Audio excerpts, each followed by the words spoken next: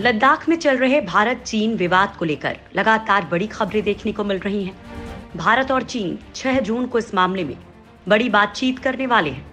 हालाँकि इससे पहले चीन ने भारत को एक तगड़ी धमकी दी है और कहा है कि भारत लद्दाख को डोकलाम नहीं समझे। इस बार उसने सबसे तगड़े हथियारों को मोर्चे पर तैनात किया है। हालाँकि इस बीच एक और बड़ा खुलासा हुआ है। चीन सेना के लिए सबसे बड़ी शर्मिंदगी वाला है। जिसमें कहा गया है कि चीनी सेना अंदर से खोखली है। लिहाजा आपको इस पूरी पिक्चर से रूबरू करवाते हैं। चीन ने भारत को दी एक और धमकी। लद्दाख की गलवान घाटी और पैंगोंग शो झील के आसपास करगिल की तरह बेहद चालाकी से हज़ारों की तादाद में सैनिक तैनात करने वाले चीनी ड्रैगन ने अब भारत को सीधी धमकी दी है। चीन के प्रोपेगेंडा मैगजीन ग्लोबल टाइम्स ने कहा कि भारत लद्दाख को डोकलाम नहीं समझे हमारी सेना ने भारत से पहाड़ों में जंग लड़ने के लिए पूरी तैयारी कर रखी है। चीन ने कहा कि डोकलाम की घटना के बाद उसने अपने जखीरे में टैंक से लेकर अत्याधुनिक ड्रोन शामिल किया है। चीन बढ़ा चुका है हथियारों का जखीरा। ग्लोबल टाइम्स ने कहा कि चीन ने अपने हथियारों के जखीरे में type 15 tank, Z twenty helicopter और जी जे टू ड्रोन शामिल किए हैं। जो उसे पहाड़ों और ऊंचाई वाले इलाकों में युद्ध के दौरान बढ़त दिलाएँगे। टाई 15 टैंक को पिछले साल ही सेना में शामिल किया गया है। चीनी विश्लेषकों ने दावा किया कि तिब्बत के पहाड़ों में यह हल्का टैंक बहुत आसानी से काम करेगा, जबकि बड़े टैंकों को जाने में दिक्कत होगी। ये टैंक किसी भी अन्य टैंक को पीछे छोड़ देगा।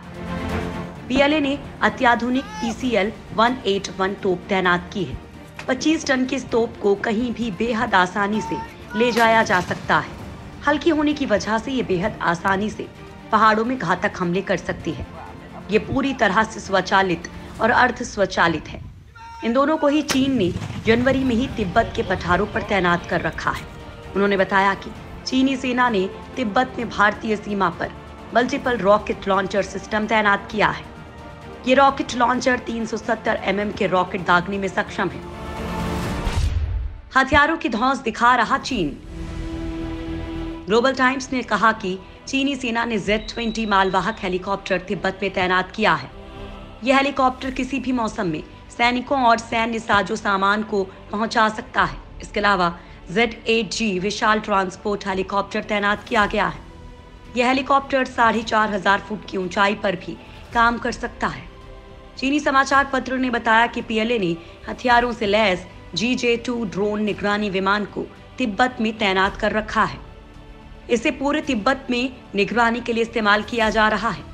चीन ने दावा किया कि इन हथियारों के बल पर चीनी सेना ऊंचाई वाले इलाके में किसी भी तरह के हमले का जवाब देने में सक्षम है।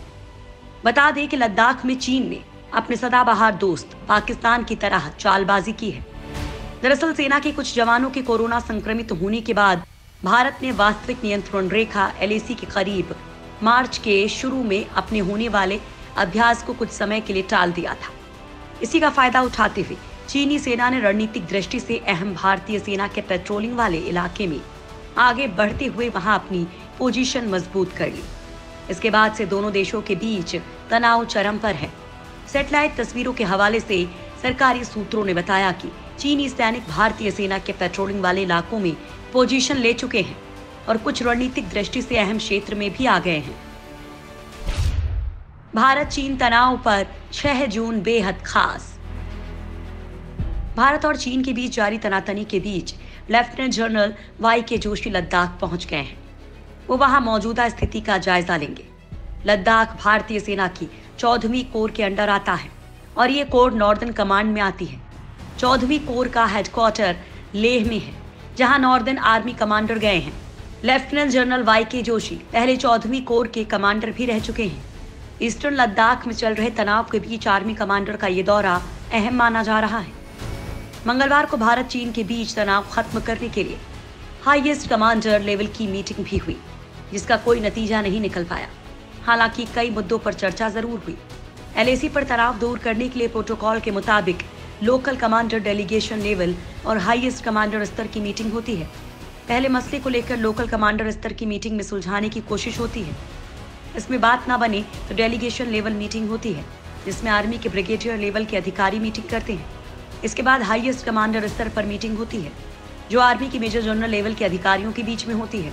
अब छह जून को फिर से दोनों देशों के मिलिट्री कमांडर्स की मीटिंग होनी है। भारत, चीन दोनों देशों ने डिप्लोमेटिक स्तर से भी ये संदेश दिया है कि दोनों बातचीत से ही मसले का हल चाहते हैं। हालाँकि अभी एलएसी में तनाव की कमी नहीं आई है और दोनों तरफ़ के सैनिक डटे हुए हैं। युद्ध के लिए अनफिट हैं 20 फ़ीसदी चीनी सैनिक। चीन के सरकारी समाचार पत्र ने दावा किया है कि उनके सैनिक भारत के किसी भी हमले का जवाब देने के लिए तैयार हैं। लेकिन चीनी सेना की एक रिपोर्ट ने चीनी मीडिया के दावे की पोल खोल कर रख दी है। चीन की पीपल्स लिबरेशन आर्मी ने स्वीकार किया है कि उसके 20 फ़ीसदी सैनिक जंग के लिए अनफिट हैं।